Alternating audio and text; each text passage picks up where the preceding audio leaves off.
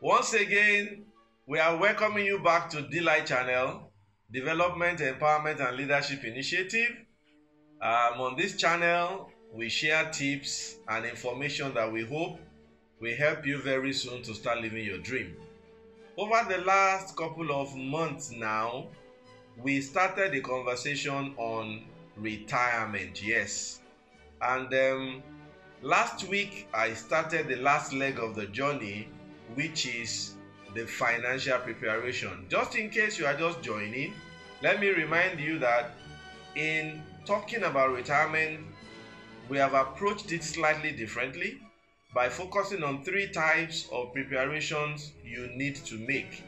The first being the cognitive preparation, the second being the behavioral preparation, and the third, which started last week, being the financial preparation.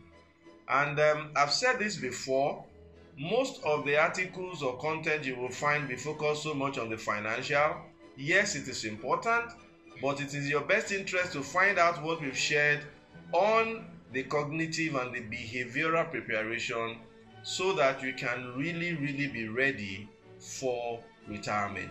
And last week, in starting this conversation, I pointed you back to some of the things we've shared on this channel before by giving you a summary of the fact that the very first thing you need in preparing yourself financially for retirement is to learn how to live on a budget.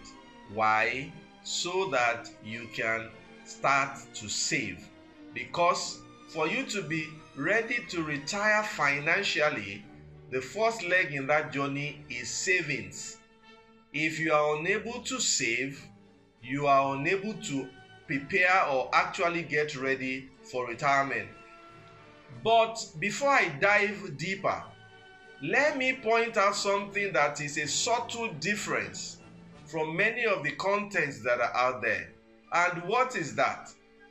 When I speak about financial preparation and I speak about savings, I'm not approaching it from the angle of saying identify how much you are spending per annum, identify how many years you are likely going to live, and then save enough money such that you will have enough to last you till you re- to, till you expire. The truth of the matter is the fact that when it comes to planning for retirement, it is almost impossible for you to have a balanced budget. You either end up in a deficit or you end up in a surplus. And I'm sure the last thing you want to do is to end up in a deficit. Therefore, for you to end up in a surplus, your thinking about savings must not just be about let me accumulate it and just keep it there so that I can start drawing. You must start thinking about it as a means of earning and generating more revenue. What am I saying? I am saying that we are talking about this while you are still in active employment, meaning whether you are an entrepreneur, you are a social entrepreneur, you are an employee, whatever you are doing, you are actively involved in it right now.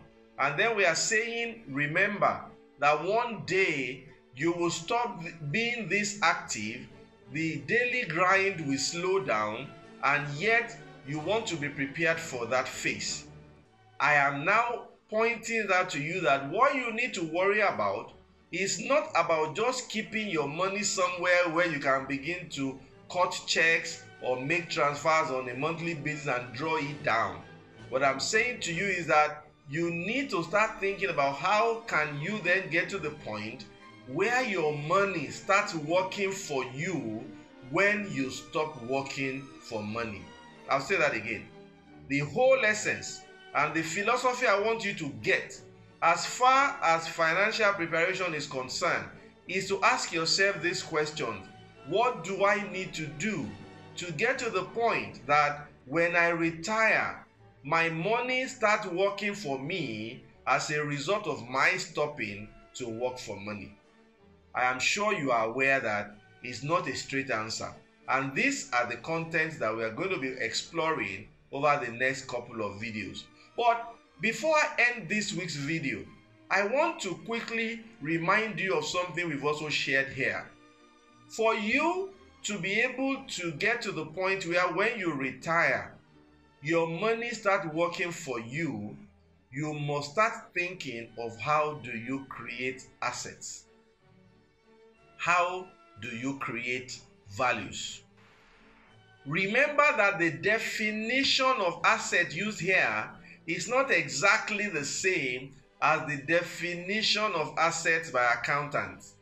Accountants will tell you asset is whatever you have title to that you own, that you can get, that you have beneficial interest in, and you can get the values accruing from it.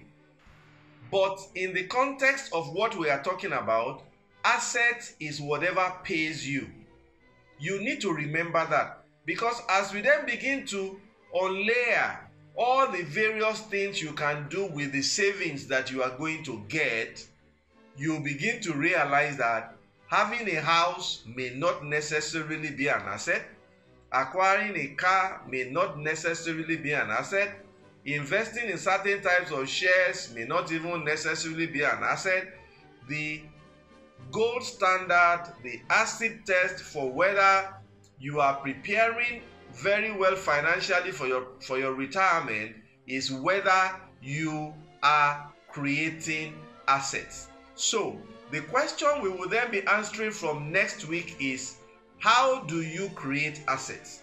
How do you get to the point where when you stop working for money, your money can start working for you? Why is that very important? It's because even though you have retired, the bills are not going to stop.